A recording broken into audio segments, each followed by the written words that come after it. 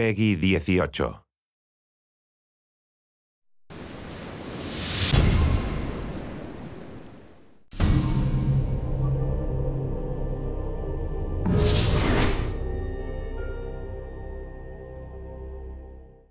My name is Mike Burkhead. I'm a senior designer here at NetherRealm Studios. The Challenge Tower is 300 missions where we really wanted to challenge the player's mastery of different mechanics in the game while also challenging their dedication to sticking with it.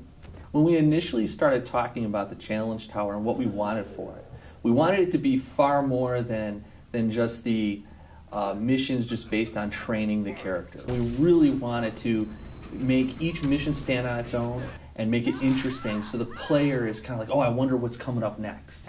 We wanted to make sure that we stayed true to the core of why people love this game, which is I beat the shit out of you and then I rip your head off. And that is really why everyone loves Mortal Kombat is, is the combat. And so the Challenge Tower is focused on that. What we did is we started off by uh, exposing the, the fight engine and the capabilities of our, of our normal fight engine in different ways such that we could create a variety of missions.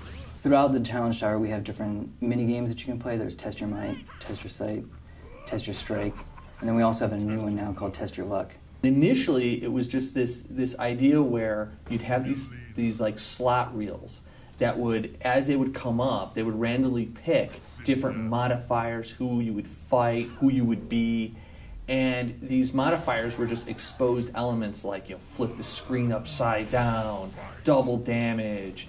And what happened is when we implemented this, people were so excited about it that it actually it ended up spawning off its own separate mode in the game. Sometimes it was fun stuff, you know, some kind of humorous. Like there's a mission where Mileena made a teddy bear and she's trying to give it to Scorpion and he doesn't want it, and so you fight. We had the, this concept of our shooting gallery missions and you're fighting against a seemingly infinite amount of enemies. And like our normal fight engine, it's you know two v two maximum. But in this case, we had to support as many as six different characters. My favorite mission in the tower is one called Orange You Glad I Came. And it's you play as Scorpion and Sub Zero versus a certain boss character. And he starts out orange, and he starts flipping colors between orange and blue. And you can only damage him when he's orange as Scorpion, and when he's blue, you can only damage him as Sub Zero. And then, of course, if you make it all the way to Challenge 300, there's going to be a major reward for you to get to get that far. It'll be very difficult to get, but it's very worth it. One of the things that I'm really excited about is is that with the challenge tower, and I want to throw this out to everybody, the top of the ladder is one of the hardest levels you're going to fight, one of the hardest challenges. I can't wait to see one of our serious, hardcore, super awesome MK fighter fans go in there, play the last mission, and beat it. Beat it with one try, one character, full life bar. I want to see that up on YouTube. I want to see somebody pull that off. It's going to be hard, and I think there's going to be somebody that can pull that out. The name of the mission is Endgame, and I can't wait to see what happens with that.